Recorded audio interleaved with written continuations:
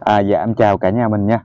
À, thì bên cạnh em đây là luống rau á, em trồng và em đã thu hoạch cách đây được khoảng 5 ngày rồi, xong xuôi rồi cả nhà. Bây giờ thì em sẽ xử lý lại cái luống này để mà em trồng cái đợt rau khác. Ok, bây giờ thì anh chị em nhà mình cùng em xử lý cái luống rau này nha.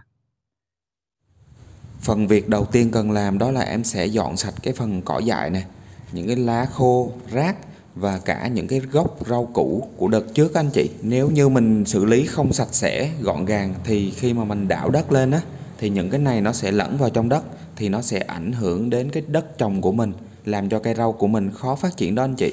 À, tiếp theo thì em sẽ xới, xới thật tơi, xới thật đều cái luống rau của mình nè.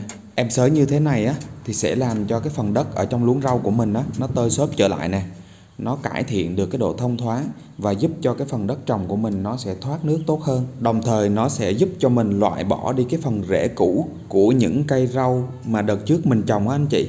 Luống rau này thì đợt trước em trồng cải thìa, nên đợt sau em sẽ trồng loại khác để mà mình có thể ngăn ngừa được các loại sâu bệnh hại cho cây đợt sau á anh chị.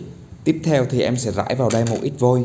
Vôi này là vôi nông nghiệp nha cả nhà mình. Vôi không chỉ là giúp cải tạo đất đâu anh chị, mà vôi còn có tác dụng khử trùng nè giúp cho cây trồng chúng ta có thể phòng trừ được các loại nấm bệnh hại cho cây trồng của mình đó. À, cuối cùng thì em sẽ bổ sung thêm một lượng trấu hung nè trộn lẫn với phân chuồng để giúp cho cái đất của mình nó dinh dưỡng hơn một chút nữa đó anh chị.